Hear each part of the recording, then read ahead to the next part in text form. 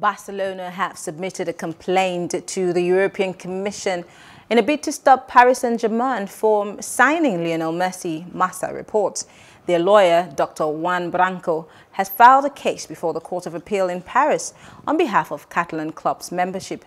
Messi has been a free agent since July 1 and PSG will not need to pay a transfer fee to Barcelona. The 34-year-old was prepared to sign a new deal on behalf of his wages, but the La Liga giants were unable to renew his contracts because of La Liga's financial rules. PSG are widely expected to seal a deal for Messi this week on a two-year contract. Well, joining us tonight to discuss this is a sports commentator, Loveday Godson. Thank you very much for joining us. My pleasure. Thank you for having me. Great. So tell us, do you think that PSG will be able to pull off a Messi signing considering the UEFA financial fair play hurdle? Oh, yeah, I think they have to, um, they, uh, they, Messi have really tried for PSG. I mean, uh, playing for them for 21 good years. They used to say that everything that has a beginning has an ending. I think um, it's just time to call it out. He played for uh, 21 years, and, um, and you have 34 trophies in 34 years. I think it's an opportunity for him to try another club and then uh, see what he can make. And Barcelona trying to uh, win a case for him. He can't stay in a club forever, even if it has been done before, to try another club. And I'm thinking that Paris Saint-Germain is a very good club for him to head on. Now, but, but reports have it that, you know, the ratio between the salary and the income for PSG was, you know, about 99% in the 1999 to 2020 season. Now, which was worse than that of Barcelona.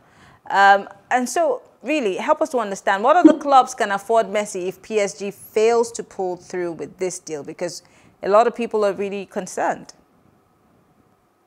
Yeah, I think uh, even uh, choosing uh, Paris Saint-Germain, I think you have a uh, Neymar in Paris Saint-Germain.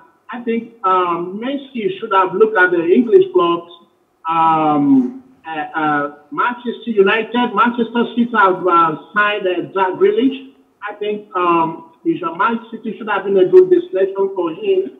Uh, but uh, looking at the way things are, I think one of the English clubs, even Tottenham, could be able to uh, sign him because uh, uh, they are one of the best in the in the world. Uh, English club is one of the best in the world. So um, looking at Manchester United, Manchester City, Tottenham Hotspur, uh, these are great clubs for him. So if Barcelona fail to sign him, I think one of these clubs can make a wave in signing Lionel Messi. Uh, he still have uh, great years, 34 years, still have about three years to play. Well, what, what would a combination of Messi, Kylian Mbappe, and Neymar look like? wow, that's gonna be a gonna be a, a deadliest attack. We saw that in Barcelona.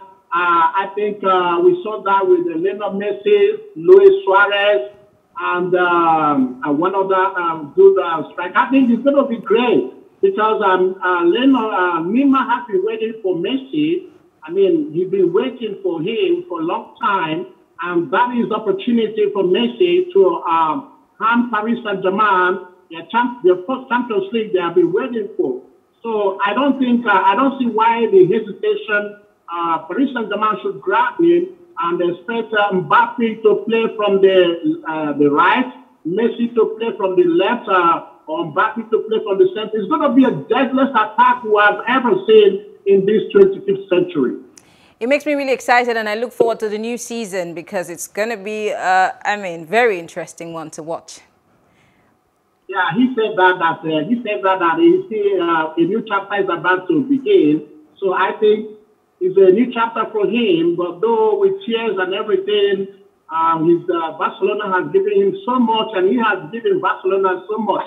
Mm. And uh, well, we can't wait for a new chapter to begin. I mean, if uh, you look at him, he's in tears. I mean, so much in tears. Mm. You can't believe it. It's, when, he goes, when he goes back home, imagine uh, the, the, the Barcelona fans are uh, filled up there. I mean, he, he, he knows what he has uh, gotten from the club and what he has put in from the club. is a is a very big uh, is a is a is a you know is a is a time that you can't call it tough, but he came in with a uh, being a 13 years old boy, and now you're going out with a wife and your kids. I mean, it's happened. So it's happened to some people, even in Lagos. Some people Yeah. come to Lagos and and then they go home with uh, you know with riches and all that. They came sleeping under the bridge. I mean, that's why he's in tears. If I am Messi, I will cry.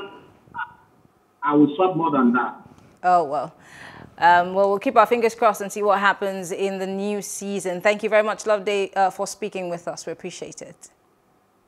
So much. I really appreciate it. Thank you for having me. Great. Hello, hope you enjoyed the news. Please do subscribe to our YouTube channel and don't forget to hit the notification button so you get notified about fresh news updates.